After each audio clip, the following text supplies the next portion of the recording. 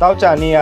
ရှင်ပြိုင်ကစားခဲ့တဲ့ထိုင်းလေး1ပွဲစဉ်3ရဲ့ပွဲစဉ်တစ်ပွဲအဖြစ်မမောင်လွင်ရဲ့ Lanfon Warrior တင်းဟာ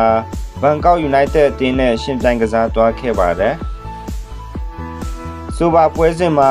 မမောင်လွင်ကတော့ပွဲထွက်လူစည်းမှာပါဝင်လာခဲ့ပြီး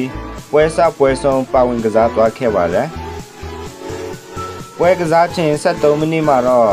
မမောင်လွင်ရဲ့ကန်သွင်းချက်ကောင်းမွန်ခဲ့ပေမဲ့ ဂိုးပေါက်နဲ့အနှဲငယ်လွဲချော်သွားခဲ့ပါတယ်။မမောင်လွင်ဟာဂိုးရရှိရန်အတွက်ဖြတ်တင်ဘောအများပြားပြုလုပ်နိုင်ခဲ့ပေမဲ့ပြိုင်ဖက်ကစားသမားတွေရှင်းထုတ်နိုင်ခဲ့ပါတယ်။ပွဲကစားချိန်43မိနစ်အရောက်မှာတော့လန်ဖွန်အတင်ဒေါက်ကန်ဘောကန်တင်ပေးပို့ရမှဦးဆောင်ကိုစတင်ရရှိသွားခဲ့ပါတယ်။အဆိုပါတွင်ကိုဟာလန်ဖွန်ကစားသမားဆီဆုခုက ပြိုင်ဖက်ကိုတွန်းတလို့ဖြစ်တဲ့ဆိုပြီးကွင်းလက်တိုင်ကခွင့်ပြုခဲ့ခြင်းမရှိပါဘူး။ပရဝဘိုင်းနာကျင်ချင်းပူရောက်မှာတော့ဘန်ကောက်ယူနိုက်တက်တင်ဦးဆောင်ကိုစတင်ရရှိသွားခဲ့ပါတယ်။အဆိုပါတွင်ကိုမှာ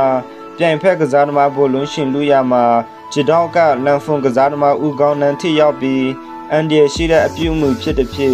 ဂိုးအပြည့်ခွင့်မပြုဖို့လန်ဖွန်ကစားသမားများဝိုင်းဝန်းတောင်းဆိုခဲ့ကြပါတယ်။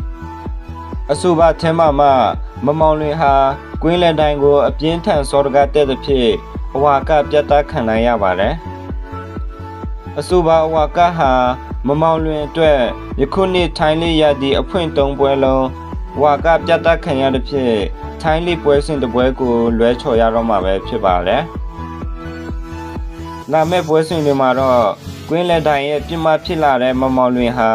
ဒေါတာထင်ပြီးဘောလုံးကိုပဲအာယုံဆိုင်ကစားရတော့မှာပဲဖြစ်ပါလေ။ကြည့်ရှုအားပေးတဲ့အတွက်အားလုံးကိုကျေးဇူးတင်ပါတယ်။